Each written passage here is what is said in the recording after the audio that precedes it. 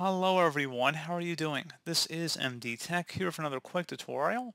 In today's tutorial, I'm going to show you guys how to resolve the GFX UI application error you're experiencing on your Windows computer. It reads that the application cannot be started. Do you want to view information about this issue? So this should hopefully be a pretty straightforward process here guys, and without further ado, let's go ahead and jump right into it. So we're going to start off by opening up a web browser of our choice, and you want to search for download net framework. One of the best results should be download.net framework. Go ahead and open that up. Select the most recently released one, which is 4.8 at the time of this recording, so I'm going to go ahead and open that up.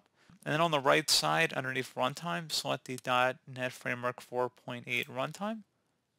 And go ahead and run the setup file once it's done downloading, and select yes if you receive a user account control prompt. And it's already been installed on our system, but in your case, it's likely it hasn't been. So just go ahead and go on with the installation. And something else you also want to do similarly to the first thing we just did, just this time type in Visual C++ download. And go ahead and search for it.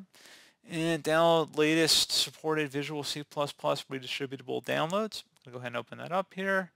And I'm going to select the Times 64-bit version download. And I'm going to go ahead and run it.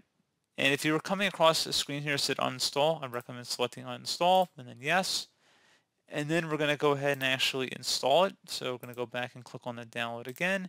You could open up the file that was already downloaded on our system, but I'd rather just uninstall the previous download. And now we're going to agree to license terms and conditions and then select install. Select yes if you receive a user account control prompt. Setup successful. Go ahead and close out of here.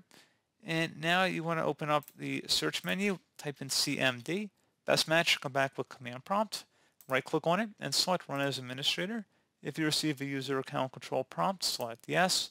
And now into this elevated command line window, go ahead and type in SFC, followed by a space forward slash scan now. Scan now should all be one word attached to that forward slash out front. Hit enter on your keyboard to begin the system scan. This will take some time to run, so please be patient.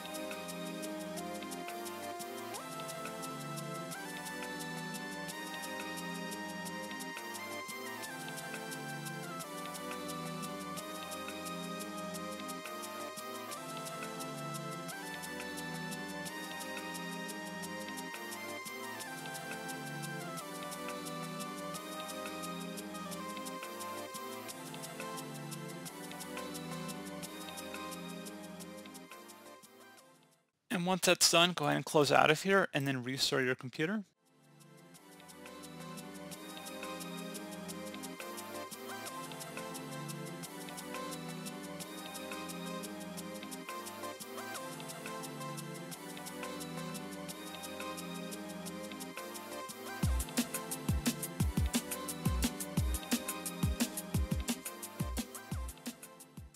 And now if you attempt to run the problematic application, you should not be receiving that error message anymore. So pretty straightforward process. I do hope I was able to help you out, and I do look forward to catching you all in the next tutorial. Goodbye.